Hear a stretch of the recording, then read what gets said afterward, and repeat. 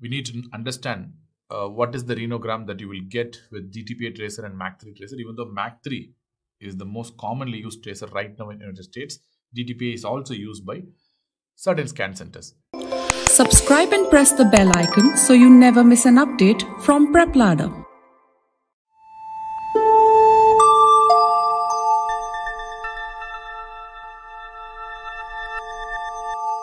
We need to understand uh, what is the renogram that you will get with DTPA tracer and MAG3 tracer. Even though MAG3 is the most commonly used tracer right now in United States, DTPA is also used by certain scan centers.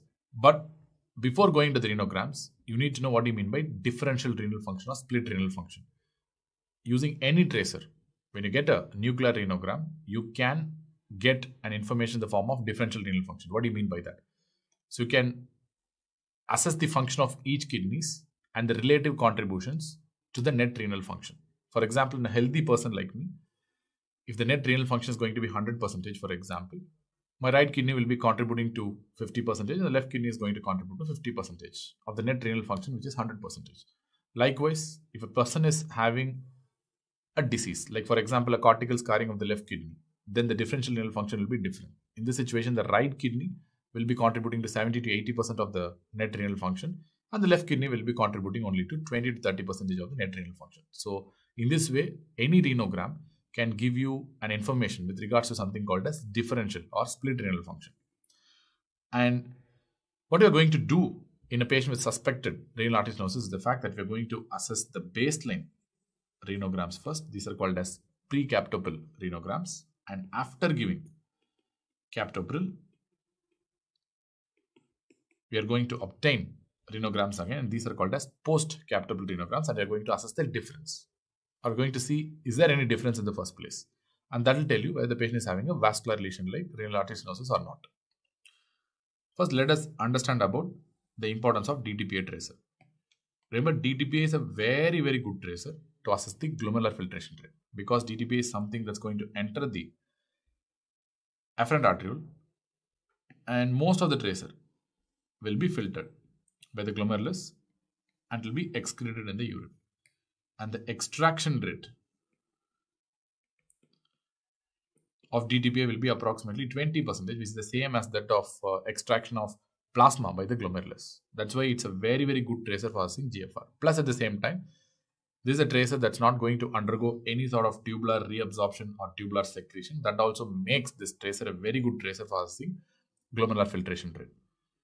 And let us see a renogram of a patient with suspected renal artery stenosis. And as you can see here, with DTPA, the right kidney is showing a very good uptake. In the sense the peak is very good and uh, the overall uptake is also pretty good and the time to achieve this peak is also reasonably good and which means the right kidney is having a relatively normal GFR.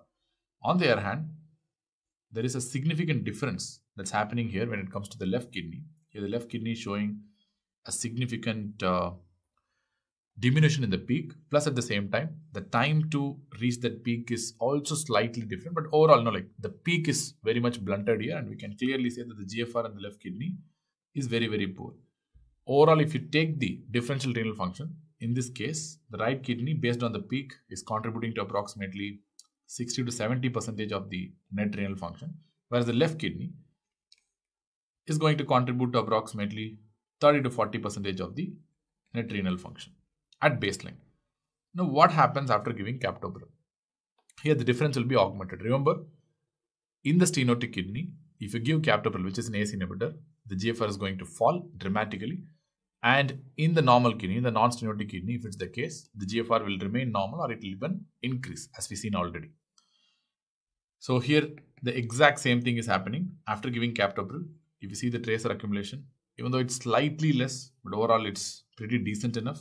The GFR didn't fall that much and the peak tracer uptake is almost same as that of the pre-captopril images.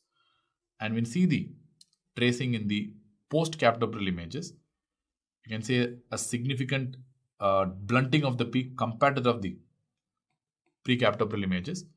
And at the same time, there is a significant delay in getting this peak as well. Like for example, you got the peak uh, with regards to the left kidney the pre-captopril images at around 5 minutes mark approximately. But in the post-captopril images the peak is delayed to approximately 15 to 16 minutes. So any delay in the peak is called as tmax more than 2 minutes. The difference if it's going to be more than 120 seconds or more than 2 minutes it indicates a definite problem a vascular problem after giving captopril and at the same time if the split renal function changes by 10 percentage at least in the post-captopril images. If there is a decline in the renal function by 10 percentage, then again it is suggestive of some vascular lesion like renal artery stenosis. In this situation, if you take the split renal function after captopril, the right kidney is the one that's going to contribute to almost 80 to 90 percentage of the net renal function, whereas the left kidney is going to contribute to only approximately 10 to 20 percentage of the net renal function. And there is a significant decline in the split renal function of the left kidney after giving captopril. And that's why whenever you have this change in the peak time by more than two minutes, or if there is a decline in the tracer uptake, which indicates that the split renal function is declining by more than equal to 10 percentage means then you can say that the patient is having a vascular lesion like uh, renal artery stenosis. In this case, you can probably suspect a left renal artery stenosis. And of course, this is a non-invasive imaging and any positive finding in a non-invasive imaging or equivocal finding in a non-invasive imaging should be followed up with your invasive imaging modality like renal DSA. Here, the patient has been taken for renal DSA and it's very clear that the patient is having a stenotic lesion in the proximal part of the left renal artery as expected, which is very much suggestive of an atherosclerotic renal artery stenosis. And coming to MAG3 tracer. Again, in the MAG3, you're going to do the same. You're going to obtain pre-captopril images and after giving captopril at about one hour, you're going to repeat the renograms and these are called as post-captopril renograms. And MAG3 is something that's going to be useful uh, to assess the renal blood flow. And what are the properties of MAG3? First of all, MAG3 enters your afferent arteriole and it doesn't get filtered in the early stages. It just goes into the afferent arteriole and we all know that afferent arteriole is the one that continues as this peritubular capillary plexus. So which means MAG3 is going to reach your peritubular capillary plexus where it will be primarily secreted. It will be taken up by the proximal convoluted tubular cells and it will be secreted. So the primary mechanism of elimination of MAG3 into the urine is by tubular secretion and the extraction rate of MAG3 is somewhere around 40%, two times to that of the DTPA. And because MAG3 elimination is not dependent on the GFR, it suggested that MAG3 can be used as a marker of renal function or it's very good for assessing the split renal function patients with poor GFR where DTPA will not be very useful in that scenario. And what will happen in a patient with renal artery stenosis? Suppose uh, if there is renal artery stenosis, there will be autoregulation in the stenotic kidney. So there will be significantly increased amounts of angiotensin 2 near the efferent arteriole and this is going to cause significant efferent arteriolar vasoconstriction and that will reduce the amount of MAG3 that's going to reach the tubules. So that is what you're going to see it as a difference in the uh, renal function at the baseline itself. So for example, if you take the pre-captopril images, you can clearly see there is poor tracer accumulation in the middle and the upper pole of the left kidney in this example. The right kidney is reasonably good. And in the renogram graph also, you can clearly see that the peak tracer accumulation is much, much poor in the left kidney compared to that of the right kidney. And once the tracer is taken up by the tubular cells, if it's a normal kidney, the tracer will go for rapid washout because once the tubular cells take up the tracer, they're going to rapidly secrete MAG3 and will result in rapid washout.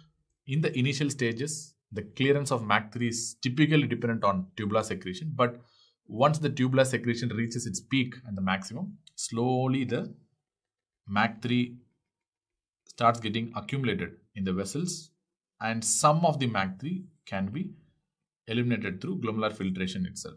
That is why in the textbooks, if you see, they, they would have given that 40% of uh, MAG3 is excreted through tubular secretion and they would have also given that around 5% of excretion is actually based on your glomerular filtration. But that happens in the later stages, not in the early stages. But what is going to happen in the stenotic kidney? In the stenotic kidney, because of significant efferent arteriolar vasoconstriction, you're going to have a delay in the peak uh, as far as MAG3 accumulation is concerned because MAG3 will not even reach the tubular cells properly. And at the same time, because of chronic long-standing efferent arterial vasoconstriction, there will be ischemia to the tubules and the tubular function will be very much diminished. Because of diminished tubular function, the uptake and washout of the MAG3 also will be very poor in the diseased kidney, in the stenotic kidney. That's what is exactly happening here. So this difference will be augmented if you're going to give captopril. So what's going to happen if you're going to give captopril?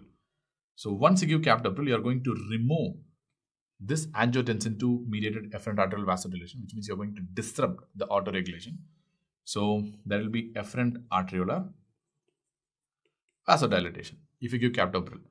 So now there will be increased amount of blood that's going to flow into the tubular area, into the proximal convoluted tubules through the peritubular capillary plexus, and that's going to increase the flow of